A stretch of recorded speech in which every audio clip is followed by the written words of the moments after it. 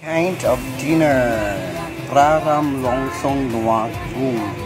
Ibig sabihin, red curry and crushed peanuts with kangkong and beef. And also I add more beef, of course. It's my favorite. And two, two prawns. Ayan guys, parang longsong. Let's eat na po ng dinner po. Ayan, sarap. Diba? This is one of my favorite curry.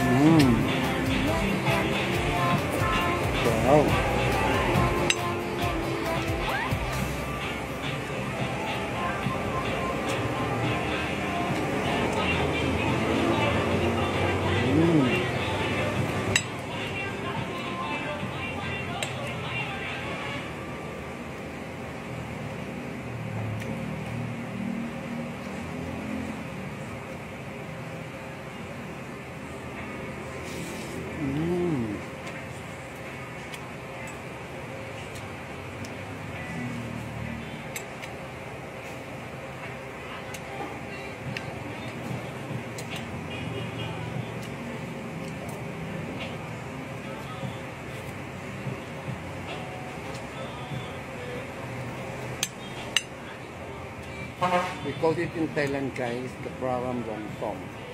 And pwedeng may choices, chicken, beef, or shrimp.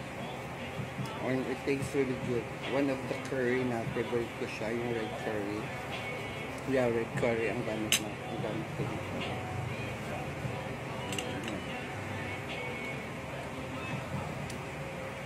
Ang hang, sobrang ang hanggang. Mm. Shrimp.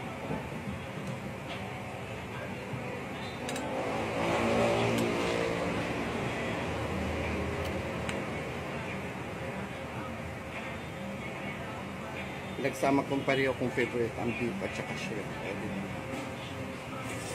Mm. No need to eat rice guys kasi kangkong is fiber already. masarap. Tapos have siyang crushed peanuts guys. Mmm. Mmm.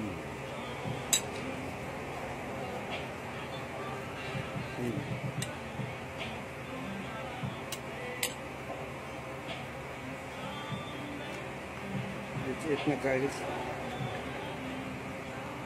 Huwag puro ano, GYC. Okay? Mm.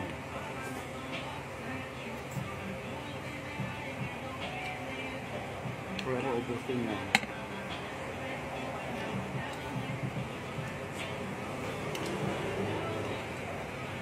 Sobrang sarap.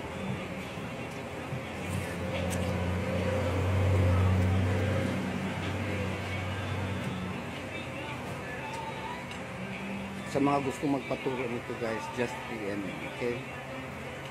PM is the key. Mm.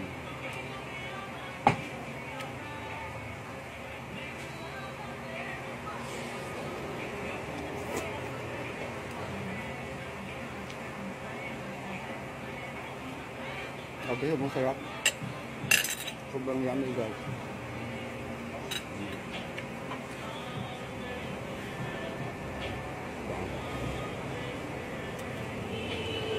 Kaya visit na kayo guys. For inquiries, just PM. Yan, sa mga gusto magpa tech cooking demo, and you set a group lang, group kayo para di kayo mapamahal. And then, PM nyo ko pag ready na kayo. Okay? Sarap. Yan o, shrimp o. Tapos beef, tapos kangkong, curry, curry. Mmm.